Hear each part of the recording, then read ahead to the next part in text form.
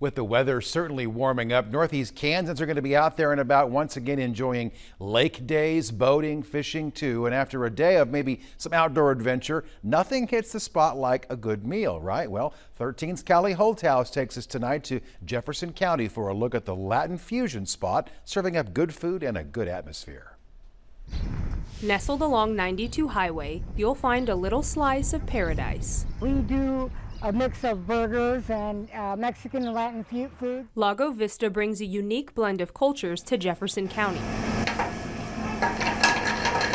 Burgers, of course, are very popular here. The stuffed avocado is is a big, a big one. Um, the crispy chicken Cuban sandwich, which is that is definitely an American take on a Cuban sandwich. We added lobster to the menu, so we've been doing a lot of, you know, lobster po' boys, lobster rolls. I made relationships with a lot of local farmers.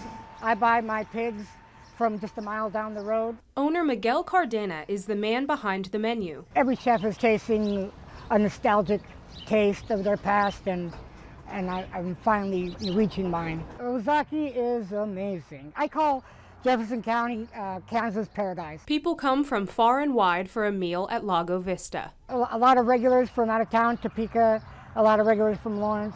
I, I always tell people we're, we're just a pit stop to a, to a beautiful destination. All the way from western Missouri, Sandy and Bob Stahl make regular trips to Lago Vista. It reminds me of being stationed in Panama.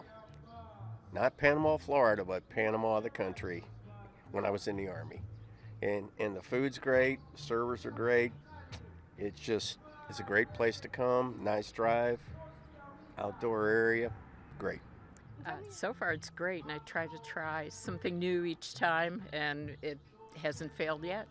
And this Latin fusion spot has more than just good eats. Every Saturday in from May through September, we do live music. Um, we do music on Sundays for for brunch.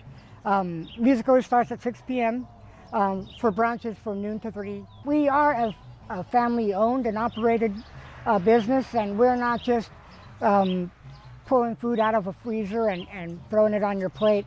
We put a lot of love in our food. Um, we put a lot of love into our community and we feel the love back and we love to share that experience with everybody. Come on down. Looks tasty indeed. You can find Lago Vista at 102 Main Street in Ozawkie, open from 11 a.m. to 9 p.m. Tuesday through Saturday, closed on Sundays. Good stuff. We'll get a